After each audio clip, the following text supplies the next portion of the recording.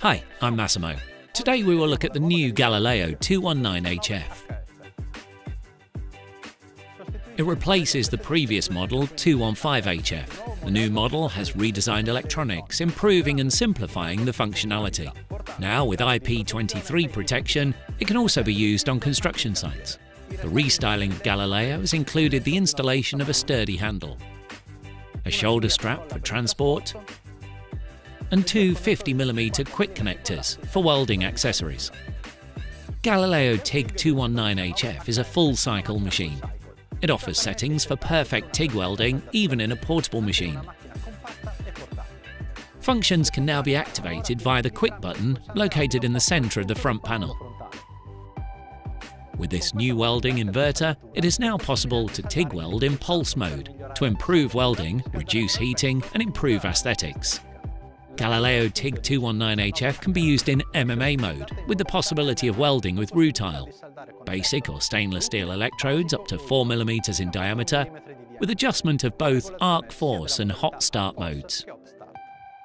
The new Galileo TIG HF equipment includes a fabric bag with shoulder strap, also useful for other purposes, a helmet strap, and several big pockets, one with a zip. The bag is secured with a snap buckle. In addition, it has two elastic electrode holders.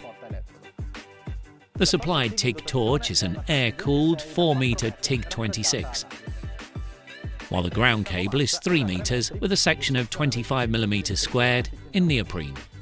A kit for quick connection of the cylinder is also included, and a pair of full-grain leather gloves. But now let's go to see the machine in welding mode together with our welding specialist Johnny. For TIG HF welding we connect the gas tube from the back of the machine to the argon gas cylinder, the TIG torch to the negative pole, then also connect the gas tube and the torch trigger connector. Finally, connect the ground cable to the positive pole.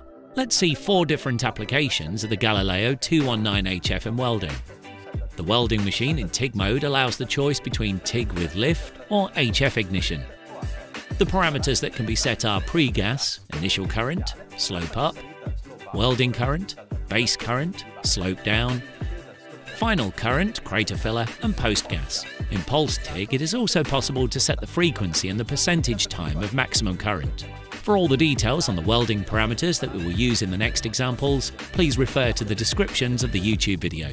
Let's start with a test on a T-joint on stainless steel. Thickness of 1.2mm in TIG HF, 4-stroke, no pulse.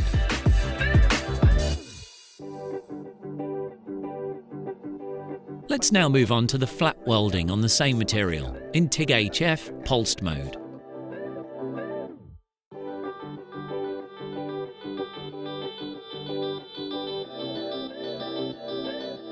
The third test consists of welding with filler material on 10mm stainless steel in TIG HF mode, not pulsed.